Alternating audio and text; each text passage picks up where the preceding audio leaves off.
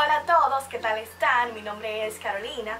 Este canal se llama La Esquina Literaria y aquí yo les hablaré de diversos temas relacionados a los libros.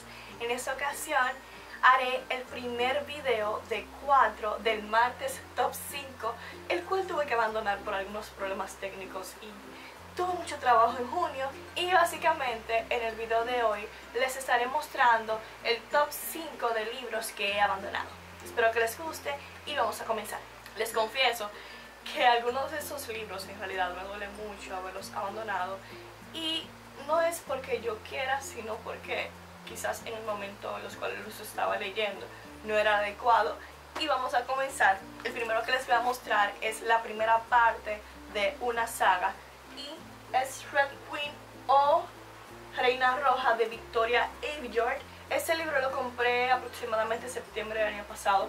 Sí lo comencé a leer y me estaba gustando, pero en realidad no sé por qué razón lo abandoné, simplemente lo dejé. Si ustedes no han leído, por favor díganme en los comentarios, porque de verdad estoy muy interesada en terminar este libro, porque también por acá tengo la segunda parte, que es La Espada de Cristal. Este lo compré en Librería Dominicana y miren qué grande es, o sea, que quiero darle una oportunidad a estos libros. El segundo que les voy a mostrar también me duele haberlo abandonado y es Lola and the Boy Next Door de Stephanie Perkins.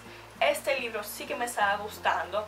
Como les he dicho en varias ocasiones, amo la primera parte de esa trilogía, que es Anna and the French Kiss.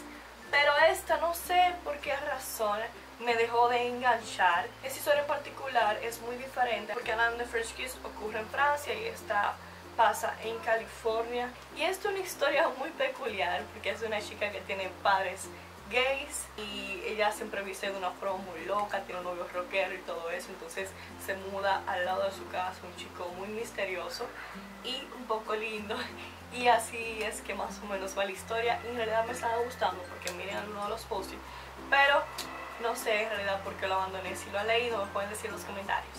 Otro que he intentado leer muchas veces es este y sé que probablemente muchos de ustedes me van a matar la ladrona de libros de Marcus Zusak.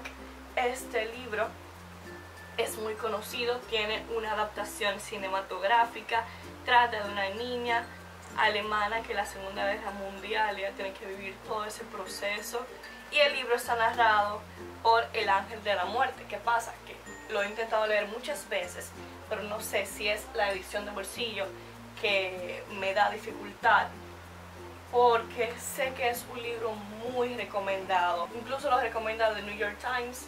Y bueno, este libro lo compré en 2014. En noviembre de 2014 estamos en 2017 y aún no lo he terminado. Por favor, necesito a alguien que me motive a leer esa historia. Porque también me interesa un montón ver la adaptación cinematográfica.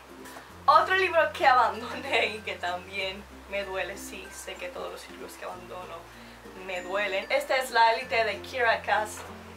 Como ustedes saben o si no saben, amé con todo mi corazón la selección e incluso fue el primer libro que reseñé aquí en el canal. Pero no sé si fue que creé muchas expectativas con la selección y al terminarlo muy rápido me adentré a este porque literal cuando terminé la selección busqué este de inmediato porque los compré los dos juntos y no estaba cumpliendo mis expectativas o no sé si en el momento en el cual lo leí no estaba en ese mood de leer este tipo de libros y en realidad tengo más de un año que ni siquiera lo abro, lo cual es muy muy malo de mi parte. Y si lo he leído, por favor no pueden decir en los comentarios si debería leerlo también. Me encantaría saber sus opiniones.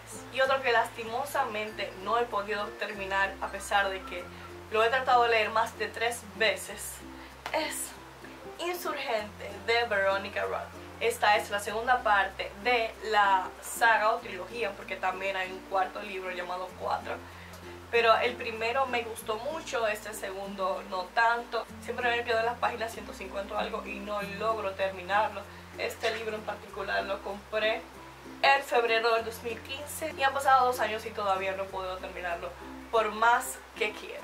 Y hasta aquí fue el video de los top 5 de los libros que he abandonado. Espero que les haya gustado. También les dejaré aquí debajo los demás videos de los booktubers dominicanos que están haciendo esta campaña.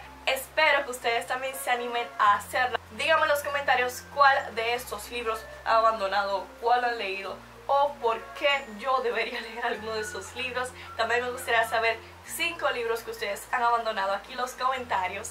Y muchísimas gracias por ver este video. Recuerden que tengo algunas redes sociales que son mi Twitter, mi Facebook, mi Goodreads, mi Instagram y mi blog.